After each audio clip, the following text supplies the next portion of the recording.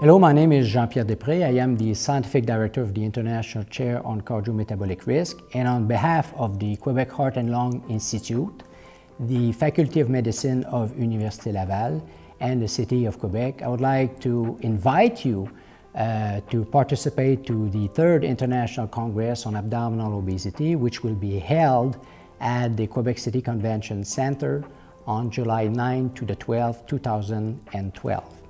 This international conference will take a multidisciplinary look at abdominal obesity from pathophysiology to uh, clinical uh, management. During the first half of uh, the meeting, we will pay attention to the prevalence uh, worldwide of uh, this uh, condition and the relationship with metabolic complication. And then we'll get into the pathophysiology of this uh, condition with top international basic scientists looking at issues related to ectopic fat distribution, liver fat accumulation, insulin resistance, inflammation, energy partitioning, and so on. We will have also a plenary lecture given by one of the leader of uh, academic cardiology, Professor Peter Libby from University of uh, Harvard, who will address the issue in, in, of inflammation in abdominal obesity, type 2 diabetes, and uh, cardiovascular disease, going from molecular aspects to uh, clinical management.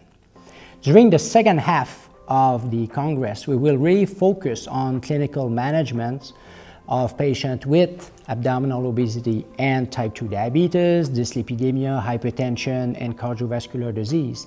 And we will have a very strong focus on prevention or management of these uh, complications with lifestyle modification with the top experts in the field of physical activity such as uh, Dr. Nicholas Wareham and Dr. Robert Ross and top experts in the field of nutrition such as Darius Mozaffarian, Ron Krauss, George Bray, Frank Hu, and Larry Appel, as well as other outstanding international lecturers.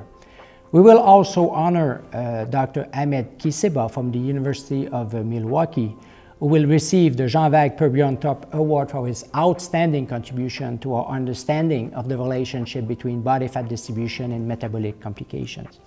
Now, the meeting also will be held during a very festive period in Quebec City. This will be the summer festival, and it will be a remarkable, therefore, opportunity to mix outstanding science and uh, a great social cultural um, event. So let me in, uh, finally warmly uh, invite you to uh, actively participate to what should be next summer an outstanding international conference.